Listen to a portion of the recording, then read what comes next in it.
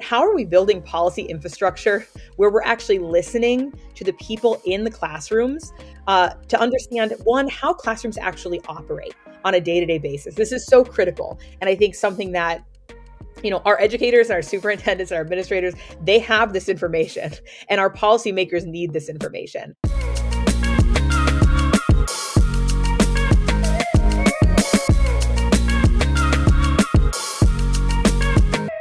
Welcome, everybody, back to another exciting and special episode of the Undisrupted podcast. Uh, we get guests from all over. Where I'm excited to invite a guest up in just a second. But of course, before I tell you who our guest is, we do have to have our opening debate. So, Adam, opening debate.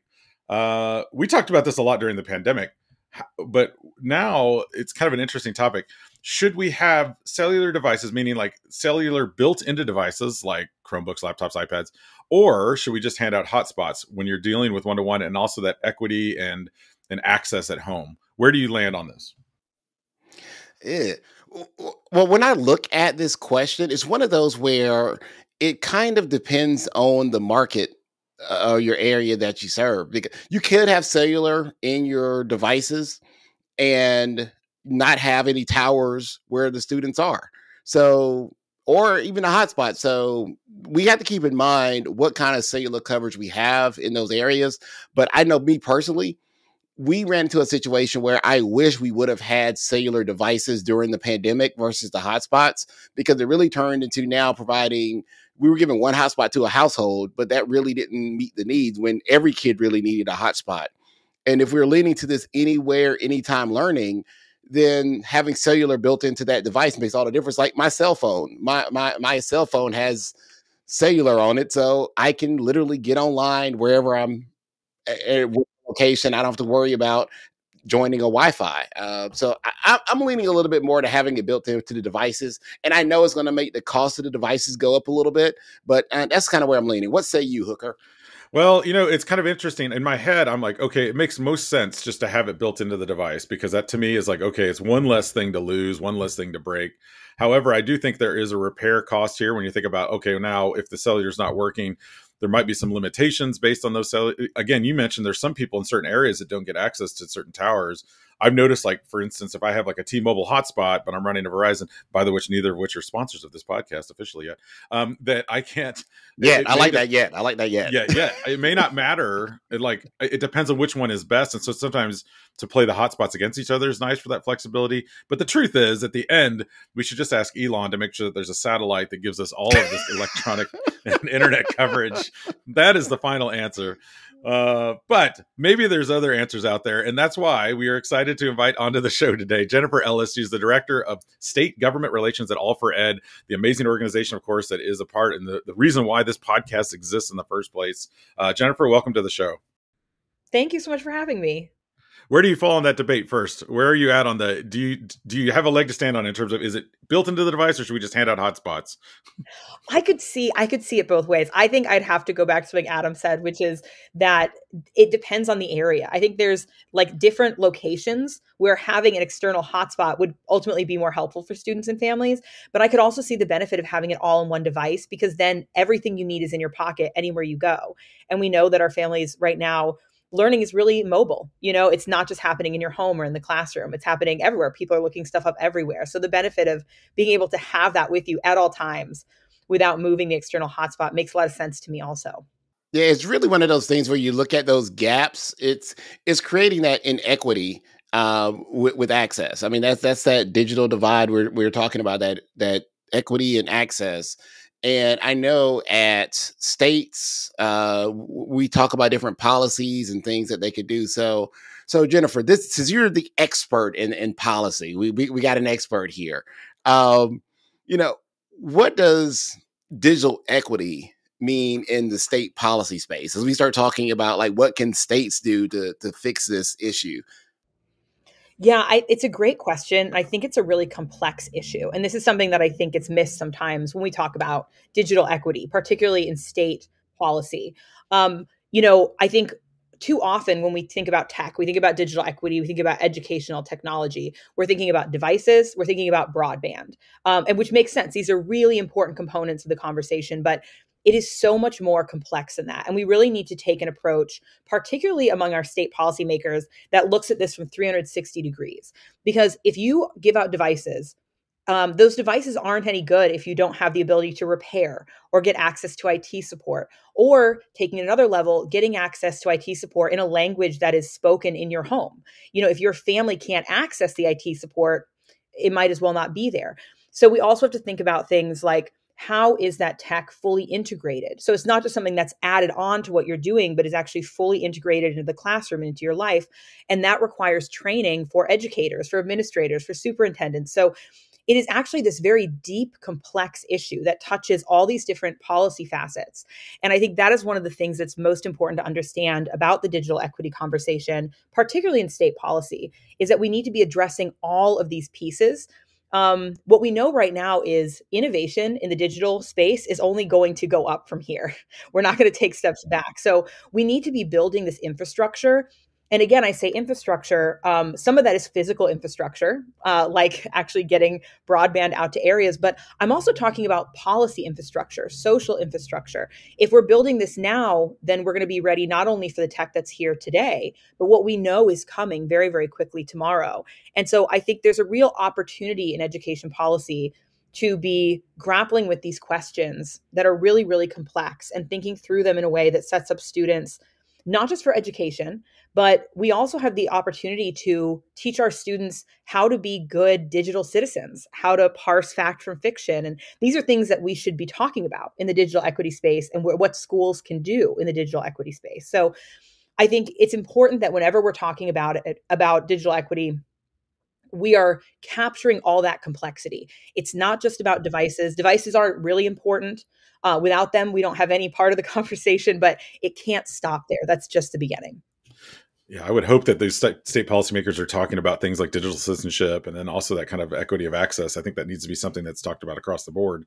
You mentioned the devices, and you know, and we've seen you know a lot of different federal resources going toward technology specifically devices broadband access things like that uh, including the american rescue plan funding um, what are you seeing right now in the state policy space because right now we know that there's you know there's some funding cliffs coming in certain areas um, so state policymakers who are thinking, okay, we really want to do this, but we know that there's some federal funding that's maybe changing. They're kind of grappling with the reality of what's going to happen in the future with that funding.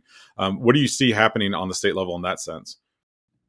So I think a lot of our state policymakers are having these conversations about what does it mean for this federal funding to end? Where does state funding have to step in?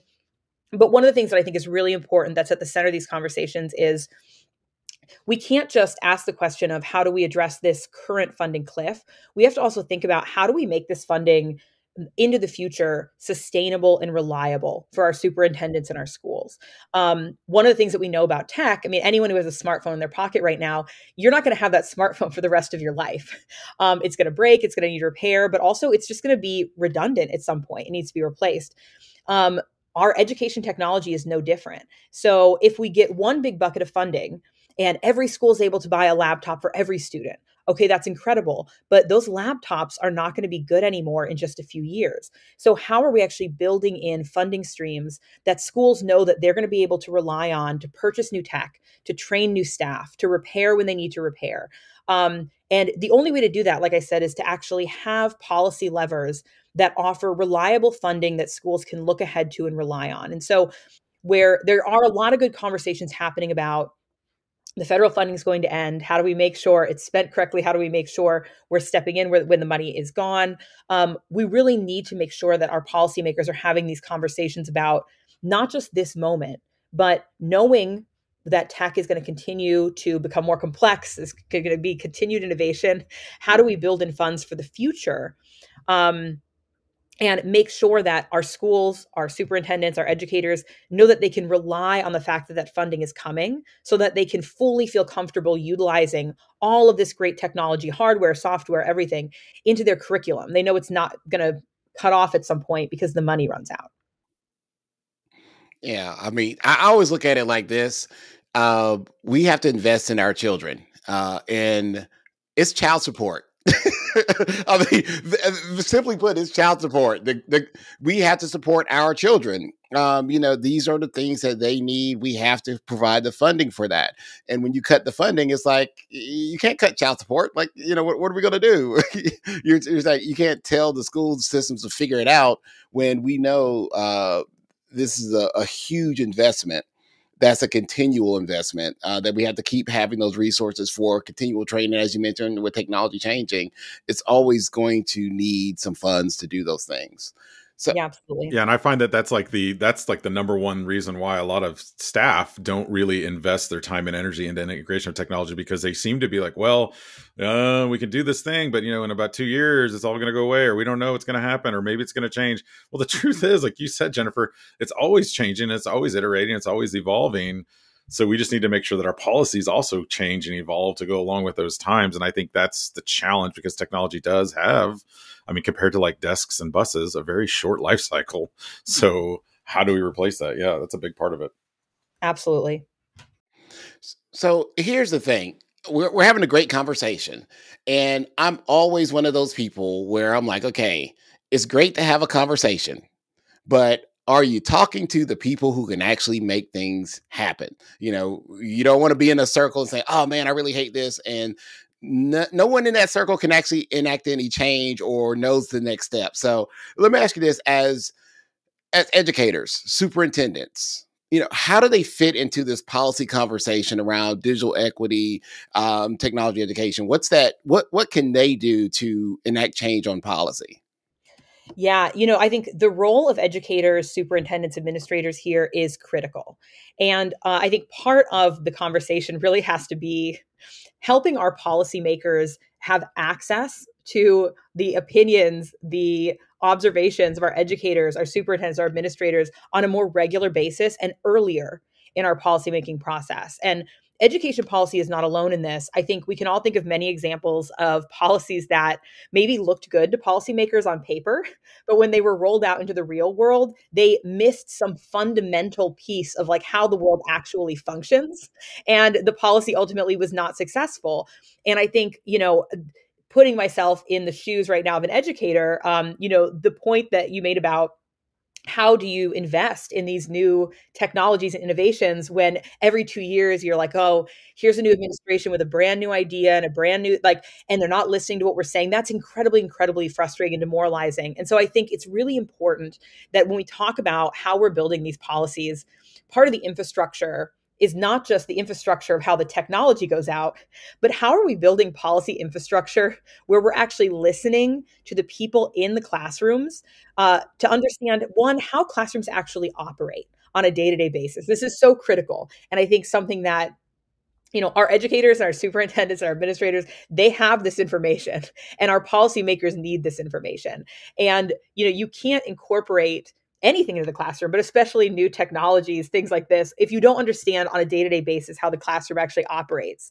Um, and then I think getting their input early and often as policies are implemented. Because a policy might work on day one, but it doesn't work two years later because something has shifted. And that's okay. Policy is meant to be flexible, it's meant to change. But we're not going to know those changes are needed if we're not listening to those who are really the most in the know. I also think another piece of this is when we're investing in technology, how are we investing in our educators? So, if we're going to roll out a brand new system of technology, are we offering our educators the opportunity to be robustly trained and get professional development or certifications in that if they want that? Are we incorporating it into our education schools and programs for the next generation of teachers? And are we creating flexibility in our technology funding for districts to be able to offer those kind of supports? Um, because I think we've all heard stories of situations where educators come in for the first day um, of the school year and they're just told, here's the new curriculum, here's the new technology, here's the new, like, how are they being supported? Also, how are we making sure that our educators have access to fast broadband and the devices that they need? Um, so, you know, we have to be taking care of them as well. And so I think the only way we're going to know if we're taking care of them is by listening. Um, and so that's one of the things that I think is so important that we build. And it's definitely not unique to education policy and that we need our policymakers to have a better insight into what's actually happening on the ground. But I think, particularly here, when we're talking about the classroom, how fast things can change in education, how complex things can be. Um, we have policy experts in education in every classroom in America. We need to be listening to them. And policymakers are not going to be able to adequately do their job until we're building in ways that we can hear those voices consistently um, and we can have mechanisms to gather that feedback and have it brought up to the legislature so it's something that i know there's different states working on but i also think you know reaching out to educators who might be listening i think having your voice heard going to hearings mobilizing with your fellow educators reaching out to nonprofits in your local area that are doing education advocacy your voice is so critical um, and it needs to be in the room it absolutely needs to be in the room for these decisions to be ultimately effective for you and effective for your students. Well said. Well said. Yeah, that part about the, the big thing for me is like I've testified before, but I'll be honest. I mean, an administrator or an educational consultant coming into a room, they aren't going to listen to me as much as they are a teacher, like you just said, or a student. So getting those people in front of legislators, and I love that you pointed out, you know, that we need to be listening to those in the classroom, educators, administrators, superintendents. I would also stretch that to the legislator. I mean, I've invited legislators to come, like, go into classrooms, actually walk around and see what's happening versus, you know, kind of sitting in your ivory tower and making decisions. I think that's a big part of this discussion. Another part of this discussion, too, that we haven't hit on yet, really, is with all the new technology, with all the changes, and you know, we've got AI, which has been around for a while, but now it's becoming this big hot button topic. You know, student privacy, stu- uh, um, student safety, all of these things start to come into the conversation. Um, how how where does that fit in all of this conversation because we've talked about funding we've talked about the devices we've talked about access and equity but now there's this also this layer that we have to be concerned with the student privacy where does that play in all of this yeah i think it's a really important part of the conversation and i think it's a part that there are great organizations and policymakers working on this but i think often we don't we don't talk about this enough as these uh, we're talking about new technology and how exciting all this stuff is and the great opportunity which is all true but we also have to be thinking about the first thing is obviously student data privacy, making sure that anything that we roll out is keeping our students' data private and confidential and that that's built into anything that we're building. And then I think something that's even more complex than that is this concept of like full cybersecurity. Like what does it mean to be safe? in an online space. And this is a conversation that I think extends again beyond education, but particularly when we're dealing with our students who are minors if we are inviting them into an online space, the same as when we're inviting them into our school buildings, how are we keeping them safe there? And I mean, safe obviously from their data being released, but also safe from harassment, safe from bullying, safe from like, how do we understand those spaces? Um, I know early in the pandemic, there was um, this kind of uh, outbreak of Zoom bombing where people would like get into these classroom Zooms and like shout things or say obscene things. It's like when we create these spaces for students, just like if if our students were sitting in a physical classroom and someone like ran in and screamed something like that would not be acceptable and so we have to be building security in and one of the things i think is most interesting in this conversation is you know who are the most savvy technical operators in many of our schools? It's the students. Uh, students are they're on the the front lines of technology. They know how to do all this stuff. They know how to manipulate these systems. They're really smart and savvy. And for us to be able to keep our students safe, we have to have such a deep understanding of how these systems operate so that we can identify and anticipate where there might be a threat uh, that could get into the system. And I think one of the best ways we can do that, and again, going back to listening, but in this part, is listening to our students. students are going to understand how those systems work and they're going to be able to identify for you where there's parts where things can break down and having students be partners with you in building a safe space identifying what that means and helping to build it and maintain it i think is absolutely absolutely critical and one thing i want to add here is this is such an important conversation, but it is really important that policymakers do not say, oh, that's great. Let's put a line at the end of our bill that says schools have to keep their students safe. Um, this can't be on the shoulders of like individual educators or individual even superintendents. This is going to require building systemic uh, like pieces. So the state really has to be providing support, providing funding, providing like continuing resources, like technology experts who can come out and consult or who can help build these systems. This shouldn't just be uh, like left at the discretion of the school and without funding, without support. And they're just like, well, I hope you have some safe spaces for your students online. No, this has to be thought about as fundamental to these policies. And states need to be thinking about how they build a whole system where they're supporting every single school in doing this. Um, we can't expect our educators to not only be expert classroom educators and supports for their students, but now also be like tech savvy coders who are going to get into these systems and fix all the bugs. Like we need to be providing those supports for them as well. So I think by the state actually creating thoughtful policy around this where we're offering that support and then listening to our students about where things are up and coming and changing. They really they have their finger on the pulse of this and i think those steps are going to take you a pretty far way in being able to anticipate where there might be issues um, and making sure that these spaces just like any physical space where we would invite our students are safe and private and allow our students to thrive and learn and grow yeah, I, I think the one thing that you that I kind of got from that, well, one of many, is we're just figuring this out ourselves. It, it, it's one of those things. Ultimately, we have to be honest that we're figuring it out as it goes because as technology changes, the data that we need to keep safe changes. Because at one point, who would have thought your birthday would be some piece of information that's just super secret and no one can find out. But people are now manipulating different things on your birthday, your phone number. Uh, if your phone number can get out now, somebody can spoof your number and send text messages. So it's it's all these things that we're worried about today that we didn't worry about yesterday. Um, and as it keeps going, we have to keep continuously be aware of those things. And school systems, to your point, may not have the staff in place uh, to do that because cybersecurity, data privacy could be that and in someone's job where they're doing all these other things and data security, data privacy. So it, they get to it when they get to it. So you definitely brought up some really great points there.